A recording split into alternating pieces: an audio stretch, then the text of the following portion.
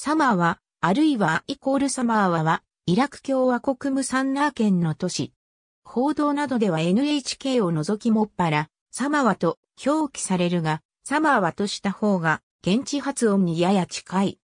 サマーワ中心部のマーケットサマーワ駅北緯31度18分、東経45度16分、首都バグダードの東南、約 280km に位置し、人口はおよそ13万人である。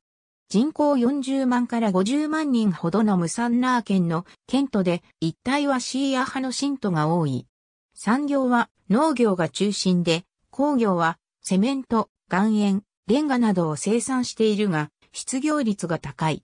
バグダードとバスラから幹線道路が通じるほか、両都市との間にバグダードバスラ高速鉄道路線がある。世界最古の文明とされるシュメール時代はウルクがあった。ユダヤ人の地区が古くからあり、ユダヤ教王朝の民が定住していた。銀行や商業が発達する。ユダヤ人やシーア派といったマイノリティの多い都市であるため、かつてはイラク共産党の審判が多く、1964年はナイグレット・エール・サルマン刑務所に向かっていた1000人以上の共産党の政治犯を運ぶ車両を多くのサマワの人間が襲うという事件が起きた。1979年から1981年のサッターム・フセイン政権の民族浄化では、サマワの人間の多くが他国に強制送還されたりされた。ムクタダー・サドル支持グループ等による中流反対活動に加え、2005年8月には停電、失業問題への抗議から、ムサンナー州知事の解任要求デモが発生した。そして、中流軍や警察との銃撃戦が発生するなどの治安悪化のため、2006年5月には外出禁止令が出された。2007年8月20日には通勤中のモハメド・アリ・ハッサン州知事が道路脇爆弾によって殺害された。イラク戦争以降はオランダ軍が駐屯、治安維持にあたり、さらに2004年1月にイラク復興支援として日本の自衛隊が駐留を開始し、復興支援活動を開始した。オランダ軍は2005年3月でイラク派遣を終了する旨を表明し、予定通り撤退した。撤退の後には、英軍が進駐したが、武装勢力が侵入する恐れがあり、自衛隊の安全が保たれるか不安の声が上がった。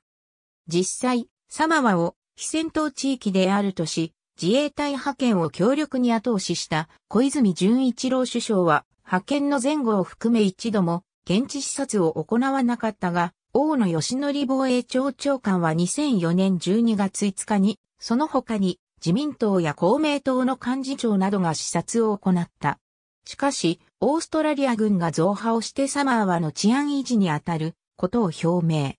増派には、イギリス・アメリカの要請、また、日本との経済上の強い結びつきなどによって、増派要請からおよそ2週間という短期間での決定となった。自衛隊の駐留にあたり、サマーワは日本の法において自衛隊のイラク駐留の法的根拠となるイラク復興支援特別措置法に定めた通じて戦闘がなされることのない非戦闘地域であると認定された。自衛隊が仮設した入浴施設は自衛隊隊員によりサマワ温泉と命名され、自衛隊隊員の入浴風景などがニュースで報じられた。日本政府がイラクへの復興支援の一環として、深刻な電力不足に悩むサマーワに建設していた大型の火力発電所が2008年10月に完成した。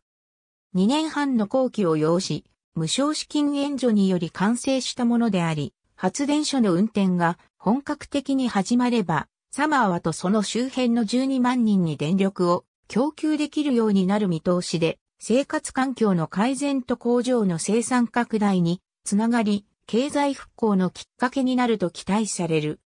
中東の専門家の王の含有主導で、王野が所属するライオンズクラブ 330C 地区は、サマーワの事前協会に大使個人を建設し、2006年6月29日に寄贈した。